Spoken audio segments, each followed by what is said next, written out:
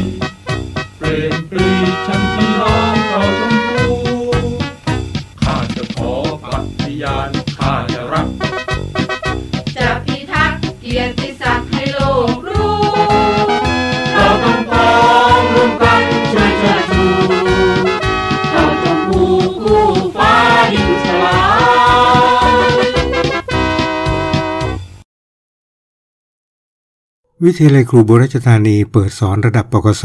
และปกศชั้นสูงครั้งนั้น นักศึกษาที่อยู่ในจังหวัดใกล้เคียง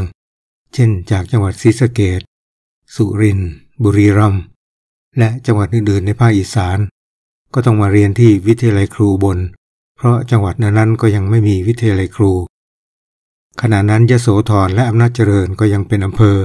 ขึ้นอยู่กับจังหวัดอุบล วิทยาลัยครูอุบลราชธานีมีบทบาทสำคัญ ในการพัฒนาการศึกษาของชาติ เปิดสอนหลักสูตรครูประถมศึกษาหรือปอปอและเปิดสอนหลักสูตรประกาศเสียบัตรวิชาการศึกษาปกศต่อมาก็ได้เปิดสอนหลักสูตรประกาศเสียบัตรวิชาการศึกษาชั้นสูง และเปิดสอนปกศภาคนอกเวลารุ่นแรก เมื่อวันที่ 28 พฤษภาคม 2513 มีนักเรียนเข้าเรียน 783 คน และปกศสูง เมื่อวันที่ 29 พฤษภาคม 2513 มีนักศึกษาเข้าเรียน 136 คน เพื่อแก้ปัญหาครูประถมศึกษาที่ขาดแคลน เมื่อประกาศใช้พระราชบัญญัติวิทยาลัยครูพศ 2518 ก็ส่งผลให้วิทยาลัยครูบรจธานี และวิทยาลัยครูทั่วประเทศ สามารถจัดการศึกษา เปิดสอนปริญญาตรีอุทิการศึกษาครุศาสตร์บัณฑิตได้ วิทยาลัยครูอุบลจึงมีสถานะเป็นสถาบันอุดมศึกษา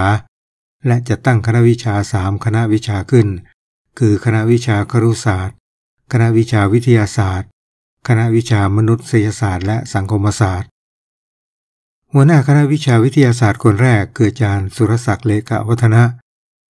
เลขานุการคณะคนแรกคืออาจารย์เพชรน้อยเล็กนาวา งบประมาณในปีแรกก็จำได้ว่า ก็ได้ซื้อตู้เหล็กหนึ่งตู้หัวหน้าคณะวิชามนุษยศาสตร์และสังคมศาสตร์คนแรก คืออาจารย์เตรียมจิตบุญยรัตพันธ์และเลขานุการคณะคนแรก คืออาจารย์มนวิภาโพคาพันธ์หัวหน้าคณะวิชาครุศาสตร์คนแรกคืออาจารย์ชาลีทาศักดิ์ครับ วิทยาลัยครูบนราชธานีก็แบ่งส่วนการบริหารออกเป็นฝ่ายต่างๆ4ฝ่าย คือฝ่ายบริหาร ฝ่ายวิชาการ ฝ่ายกิจการพิเศษ ฝ่ายกิจการนักศึกษา ฝ่ายบริหารก็แบ่งหน่วยงานย่อยออกไปอีก 12 แผนก คือ 1 แผนกธุรการ 2 แผนกแผนงานและประเมินผล 3 แผนกการเงิน 4 แผนกพัสดุ 5. แผนกทะเบียนและวัดผล 6. แผนกบริการการศึกษา 7. แผนกหอสมุด 8. แผนกโสตทัศนศึกษา 9. แผนกแนะแนว 10. แผนกอนามัยและสุขาภิบาล 11. แผนกอาคารสถานที่ 12. แผนกประชาสัมพันธ์ ต่อมาแผนกต่างๆ ก็เปลี่ยนมาเป็นฝ่าย ฝ่ายเอกสารการพิมพ์ก็มีหน้าที่จัดพิมพ์เอกสารประกอบการสอน ให้โคต้าวิชาละ20หน้า จัดพิมพ์ข้อสอบวิชาต่างๆ และพิมพ์เอกสารเพื่อขอผลงานทางวิชาการ ในสมัยก่อนก็ใช้เครื่องพิมพ์ดีด พิมพ์บนกระดาษไข และใช้เครื่องโรเนียว โรเนียวเอกสาร ฝ่ายเอกสารการพิมพ์ก็มีเครื่องพิมพ์ออฟเซตขนาดเล็กหนึ่งเครื่อง สมัยนั้นเครื่อง copy print ก็ยังไม่มี การถ่ายเอกสารก็ต้องใช้กระดาษม้วนชุบน้ำยา ไม่สามารถใช้กระดาษธรรมดาเหมือนสมัยนี้ได้ ก่อนที่จะมีคอมพิวเตอร์พิมพ์งานก็ได้ใช้เครื่องพิมพ์ไฟฟ้า คือแบบจานพิมพ์ และแบบหัวกรอบตัวหนังสือก็คนละแบบ ผมได้นำตัวหนังสือจากเครื่องพิมพ์ไฟฟ้ามาให้ดูทั้งสองแบบครับ ภาพนี้คือตัวอย่างเอกสารที่ใช้เครื่องพิมพ์ไฟฟ้าแบบจานพิมพ์ ถ้าต้องการตัวหนังสือหัวเรื่องที่เป็นตัวใหญ่กว่าเดิม ก็ต้องเปลี่ยนจานพิมพ์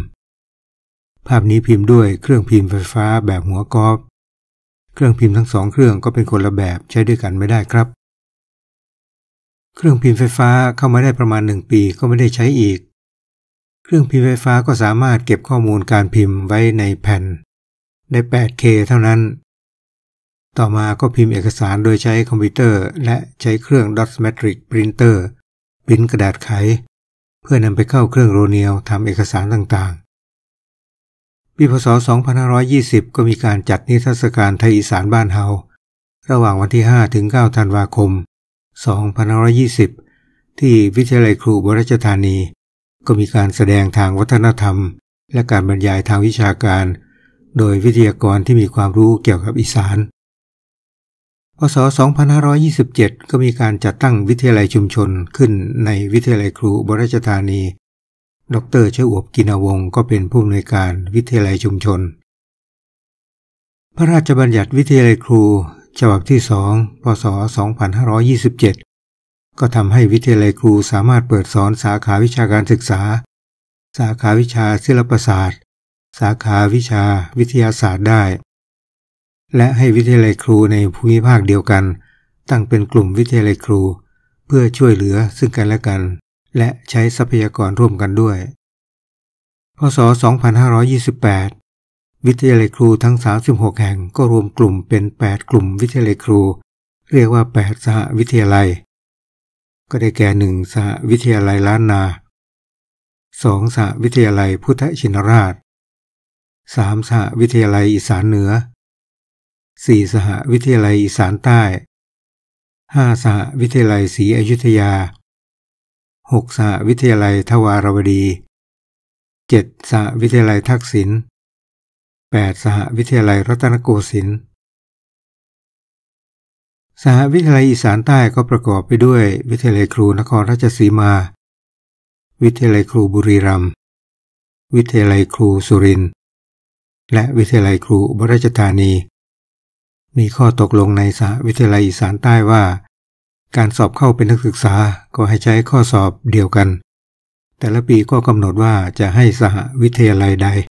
ออกข้อสอบวิชาอะไรบ้าง แต่ละวิทยาลัยก็ต้องปลุกกระดาษไขข้อสอบของตน 4 ชุด เพื่อมอบให้อีก3วิทยาลัยนำไปโรเนียว เมื่อถึงวันสอบก็จะใช้ข้อสอบเดียวกัน สมัยนั้นการส่งข้อความทางอินเทอร์เน็ตก็ยังไม่มี วิทยาลัยครูอุบลก็มีเครื่องปรุกระดาษไขที่ห้องฝ่ายเอกสารการพิมพ์หนึ่งเครื่อง ต้องปรุกระดาษไขทั้งคืนเพราะมีเครื่องเดียว บางครั้งเครื่องชำรุดและจำเป็นต้องส่งกองกลางที่วิทยาลัยครูนครราชสีมาในวันรุ่งขึ้น ก็ต้องไปขอความอนุเคราะห์ใช้เครื่องปรุกระดาษไขที่สอสอดรสมศักดิ์ทองงอกก็อยู่เฝ้าจนถึงสว่าง อาจารย์สานิตโภคพันธ์ก็เป็นผู้ปลุกกระดาษไข แล้วก็นำกระดาษไขที่ปลุกแล้วมาแลกเปลี่ยนกันที่วิทยาลัยครูนครราชสีมา เมื่อถึงวันทำข้อสอบกรรมการที่ทำข้อสอบก็ต้องอยู่ในห้องที่กำหนดให้ ปกติก็จะเป็นห้องฝ่ายเอกสารการพิมพ์ ห้ามกลับบ้าน การไปห้องน้ำก็จะต้องมีผู้ตรวจก่อน เพื่อป้องกันไม่ให้ข้อสอบรั่วออกไปนอกห้องได้ การโรเนียวข้อสอบ กรรมการก็ต้องเป็นผู้ดำเนินการทั้งหมด มื่อสอบเสร็จแล้วก็ต้องตรวจที่วิทยาลัยโดยใช้เครื่องอ่านบัตรอิเล็กทรอนิกส์ เก็บเอาผลคะแนนไปประมวล ที่วิทยาลัยครูนครราชสีมา อาจารย์เสรีรายเจริญก็เป็นผู้เขียนโปรแกรมภาษาปัสกา ใช้โค้ดเกษตรหรือ KU โค้ดแล้วก็นำมาแปลงเป็นโค้ดสมออีกที การอ่านบัตรเพื่อนำไปประมวลผลบางครั้งเครื่องอ่านก็ชำรุด ก็ต้องไปขอใช้เครื่องอ่านบัตรที่โรงเรียนเบญจมามหาราช เมื่อประมวลผลเรียบร้อยแล้วก็นำผลสอบมาติดประกาศที่บอร์ด วิทยาลัย วิทยาลัยครูบุราชธานีก็ตั้งขึ้นมานาน มีอาจารย์หลายรุ่นหรืออาจจะเรียกว่าหลายเจเนอเรชันมาบรรจุ จึงทำให้มีอาจารย์ หลายรุ่นหลายอายุ ความขัดแย้งภายในสถาบันจึงไม่มี อาจารย์หลายท่านที่เคยสอนที่วิทยาลัยครูอุบล เป็นรองอธิการ มีประสบการณ์ในการทำงาน ก็ย้ายไปดำรงตำแหน่งอธิการที่วิทยาลัยอื่น และดำรงตำแหน่งสำคัญสำคัญอีกหลายตำแหน่ง อาจารย์พนมแก้วกำเนิดก็เป็นอธิบดีกรมการฝ่ากครู เลขาธิการคณะกรรมการวัฒนธรรมแห่งชาติ รองปลัดกระทรวงสาธิการ อธิบดีกรมสามัญศึกษา อธิบดีกรมวิชาการ ผู้อำนวยการองค์การค้าของครุสภา ดรสายหยุดจำปาทองปฏิบัติงานที่วิทยาลัยครูบริจธานี เมื่อพศ 2501 ก็ไปเป็นอธิการวิทยาลัยครูมหาสารคาม เป็นอธิบดีกรมการฝึกครู ต่อมาปีพศ 2521 กระทรวงศึกษาธิการก็ได้แต่งตั้งให้ศาสตราจารย์ ดรสายหยุดจำปาทองดำรงตำแหน่งรองปลัดกระทรวงศึกษาธิการ และเลขาธิการคณะกรรมการการศึกษา วิทยาศาสตร์ และวัฒนธรรมแห่งชาติ ปีพศ 2529 ศาสตราจารย์ ดรสายหยุดจำปาทอง ก็ได้รับตำแหน่ง อธิบดีกรมการฝึกหัดครูอีกวาระหนึ่ง อาจารย์ทวัตปุโนทกก็เป็นอาจารย์ตรี วิทยาลัยครูบริจธานีเมื่อพศ 2503 มีความสนใจวัฒนธรรมท้องถิ่น และตัวอักษรในภาคอีสาน ก็ได้ศึกษากับปราชญ์ท้องถิ่นจำนวนมาก ก็ได้รับพระกรุณาโปรดเกล้าโปรดกระหม่อมให้ดำรงตำแหน่งศาสตราจารย์ภาษาไทย สาขาภาษาและอักษรโบราณ คณะมนุษยศาสตร์มหาวิทยาลัยรามคำแหง เมื่อเดือนพฤศจิกายนพุทธศักราช 2535 วันหลังก็คงจะต้องเล่าเรื่องเกี่ยวกับท่านอาจารย์ทวัตบุญโนทกให้ฟังอีกกระมังครับ เพราะว่านั่งคุยกันที่ชายหาดบางแสนท่านก็เล่าอะไรให้ฟังอีกมากมาย อาจารย์ทวีท่อแก้วก็เป็นผู้อำนวยการวิทยาลัยครูนครศรีธรรมราช เป็นอธิการวิทยาลัยครูอุดรธานี เป็นอธิการวิทยาลัยครูนครราชสีมา อาจารย์สุรพลแก่นจักร ก็เป็นอธิการวิทยาลัยครูรำไพพันีรองศาสตราจารย์ลำพองบุญช่วย เป็นอธิการมหาวิทยาลัยราชภัฏวลัยลงกรณ์ในพระบรมราชูปถัมภ์เป็นอธิการบดีมหาวิทยาลัยสวนดุสิต รองศาสตราจารย์ธงรุนเจริญ เป็นอธิการวิทยาลัยครูหมู่บ้านจอมบึง เป็นอธิการวิทยาลัยครูพระนครศรีอยุธยา เป็นอธิการบดีมหาวิทยาลัยพระนคร เป็นอธิการบดีมหาวิทยาลัยสวนดุสิตผู้ช่วยศาสตราจารย์ปรีชาเศรษฐีธรก็เป็นอธิการวิทยาลัยครูเพชรบูรณ์ เป็นอธิการบดีมหาวิทยาลัยราชภัฏจันทร์เกษม เป็นอธิการบดีมหาวิทยาลัยราชภัฏวลัยลงกรณ์ ผู้ช่วยศาสตราจารย์ดรสมศักดิ์ทองงอก ก็เป็นอธิการวิทยาลัยครูกาญจนบุรี เป็นอธิการวิทยาลัยครูสุริน เป็นอธิการวิทยาลัยครูนครราชสีมา เป็นอธิการบดีสถาบันเทคโนโลยีปทุมวัน วันนี้เล่าให้ฟังเพียงเท่านี้นะครับ ก็จะเล่าเรื่องอื่นให้ฟังอีกในคราวต่อไป วันนี้สวัสดีครับ